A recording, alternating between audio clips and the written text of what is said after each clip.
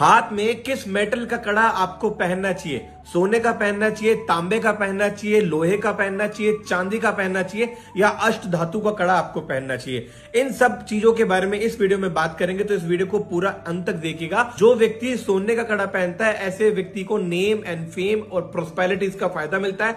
किस व्यक्ति को नहीं पहनना चाहिए? जिस व्यक्ति की कुंडली में सूर्य तुला राशि में आ गया, उस व्यक्ति को सोना बिल्कुल नहीं पहनना चाहिए। किस व्यक्ति को लोहे का कड़ा पहनना चाहिए? जो व्यक्ति अपनी लाइफ में लंबे समय को लेकर के ठहर कर नई चीज़ों के बारे में सोचता है।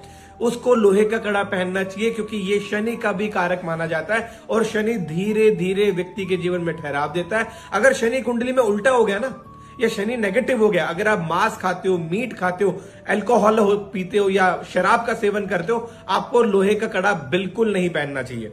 आपको चांदी का कड़ा पहनना चाहिए, क्यों पहनना चाहिए? चांदी की तहसील ठंडी होती है, मन को शांति देता है, या स्पेटिक की माला व्यक्ति को पहनना चाहिए, अगर लाइफ में लग्जरी कंफर्ट चाहिए हो तो। जो व्यक्ति तांबे का कड़ा पहनता है, जो बिल्कुल, जैसे ये बंद कड़ा है, तांबे का कड़ा, यहाँ से अलग ज्वाइंट हो और यहाँ से अलग ज्वाइंट हो। मतलब बीच में गैप होना चाहिए। जो व्यक्ति तांबे का कड़ा पहनता है, उसको बिज़नेस में नई अपॉर्चुनिटीज़ मिलती है। अगर आप अष्ट धातु का कड़ा पहनते हैं तो ऐसे व्यक्ति को हेल्थ में बहुत अच्छा फ़ायदा मिलता है। और ये सारी चीज़ें आपको मैंने बताई। कमेंट सेक्शन में ज़रूर बताइएगा आप कौन सा कड़ा पहनते हैं। हरिओम नमस्ते।